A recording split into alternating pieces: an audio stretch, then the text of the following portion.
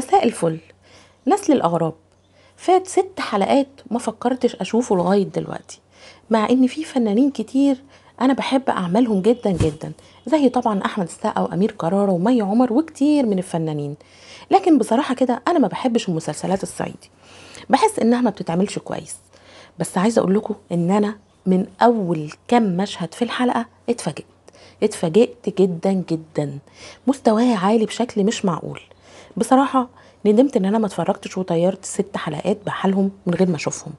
علشان كده أنا إن شاء الله المفروض إني هتابع المسلسل ده لأنه فعلا ما يتسابش. شكله جامد جدا جدا. غير إن محمد سامي الحقيقة آه، بيشتغل على تفاصيل مش كتير بيشتغلوا عليها. التفاصيل الصغيرة قوي مهمة وهو دايما بياخد باله منها.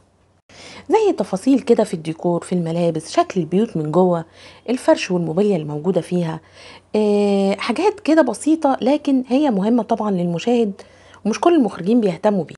غير إن بصراحة الموسيقى حلوة جدا الأغنية بتاعت التتر ملهاش حل طبعا تامر حسني. كمان ال- الحوار جميل.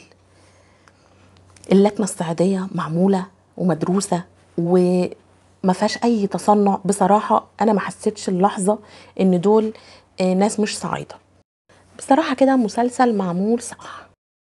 أول مشهد ظهر فيه أحمد السقا حاجة مرعبة. عايش الدور بشكل مش معقول. نساني أصلا إن هو أحمد السقا. وخلاص أنا بقيت متخيلة ده عساف الغريب وخلاص بقى عشت معاه الشخصية. طلع من السجن بعد عشرين سنة. لكنته واسلوبه وتعبيرات وشه حاجة تخض والسنان الذهب اللي حاططها كمان زودت كل ده. على ما أسمع كده يعني إن اللي بيركب السنان دي بتبقى دليل على الثراء الفاحش أو القوة والجبروت والفتونه يعني في اعتقادي. شكله بصراحة هنا الاتنين مع بعض. أو كان كده. ليه بقى؟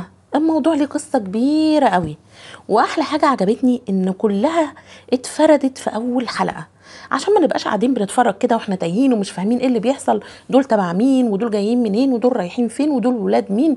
وده متجوز مين؟ وده منتوش وإحنا بنتفرج كطبيعة المسلسلات المصري. إنك تبقى قاعد حلقة واتنين وتلاتة وأربعة على ما تبتدي تربط ده يقرب لده إيه؟ وده يبقى متجوز مين؟ والكلام اللي إحنا عارفينه ده. فعشان نبقى واضحين هما كانوا زمان يعني من عشرين سنة أربع إخوات. كان في أبو غفران وكان أبو عساف وأبو علي وحافظ. قسموا القرية على بعضه. أبو غفران خد الشرق بالسرايا بتاعته. أبو عساف خد الغرب بالسرايا بتاعته. أبو علي بقى خد العمودية وبيت العمدة اللي هو يبقى أبو رئيس المباحث. حافظ ده الوحيد اللي عاش لأن كلهم ماتوا كانوا كلهم بيكرهوا بعض بما فيهم حافظ. لكن هو كان عنده شوية ذكاء كان مع الكل وعلى الكل. عشان كده هو اللي فضل عايش. القصة بقى بدأت من عشرين سنة برضو إن كان في عركة جامدة جدا جدا عساف قتل فيها أبو غفران وكل رجالته وقطع نسل الكل طبعا ما سكتش. رد عليه وقتل أبو عساف وأمه وعيلته كلها بكل الرجالة. اللي فضل بقى بواقي عيلة. أخ على أخت وخلاص على كده. كل ده حصل ليه؟ عشان كل واحد فيهم كان عايز يبين إن هو الأقوى وهو اللي يقدر يحكم البلد كلها. طب اشمعنى مع إن دول خلصوا على دول؟ ليه عساف هو اللي دخل السجن؟ لأنه كان غشيم كان قوي جدا وكان مفتري جدا وكل البلد ما كانتش بتحبه. عشان كده كلهم شهدوا ضده. لكن غفران كان ذكي والكل وقف في صفه وخصوصا الغجر مع بقية الناس اللي بقيوا في البلد. اتحكم عليه إعدام هو و45 راجل لكن بعد النقد بقوا 25 سنة. بس في الآخر صفصفوا على 20 سنة وطلع. طلعت عساف هتفتح أبواب الخراب. ليه بقى؟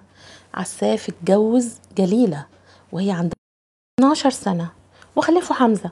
لما عساف دخل السجن غفران راح للعمدة ورفع قضية وطلق جليلة من عساف واتجوزها هو. خلف منها سليم. يعني جليلة عندها ولد من عساف وولد من غفران. لما عساف وهو في السجن عرف إن غفران طلقه من مراته واتجوزها خطف أمه. طبعا غفران راح له كتير السجن عشان يخليه يعرفوا مكان أمه ما كانش بيرضى.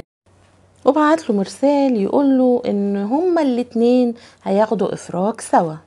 طبعا دلوقتي عساف عايز يرجع مراته وولده وغفران عايز أمه والاتنين عايزين دهب الأغراب. اللي هو إيه بقى؟ محدش يعرف مكانه غير أم غفران. الكرارة غفران الغريب. أول ظهور ليه كله هيبة وجبروت وقوة. أول ظهور ليه كان وسط غجر زلط ورجالته وهو رايح يعرفهم أصلهم وفضلوا عليهم وإزاي اداهم أرض يعيشوا فيها لما وقفوا معاه في اليوم اللي هو اتقتل فيه أهله وقتل كمان أهل عساف.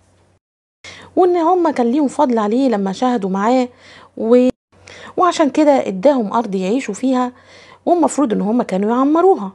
ولأنهم قطع كسح كسل زي ما قال غفران فضلوا عايشين في خيام زي ما هما وما بنوش بيوت.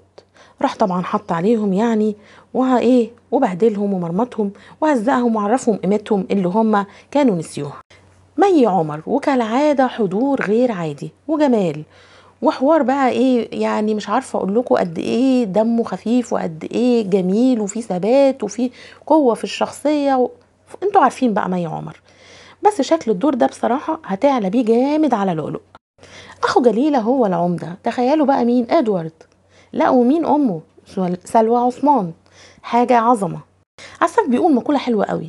كيف ضفة غفران مزهزهة ومزهرة وباين عليها العز وضفة عساف به الغريب. عجزت ججت والعنف واكل حيطانها وغيطانها. الله على كلامه. بصراحة كل مشهد في الحلقة له معنى وممتع ويشد المشاهد بجد. مسلسل من آخر جامد. القصة والإخراج والتمثيل الملابس والديكور الحقيقة كله عشرة على عشرة. وكيف ضفة غفران زهرت ومبانيها عليت. وضفتنا جشفت والفجر واكلها. مسلسل من الآخر حلو جدا جدا. أسيبكم بقى تتابعوه. ما تنسوش يشرفني جدا جدا اشتراكه في قناتي.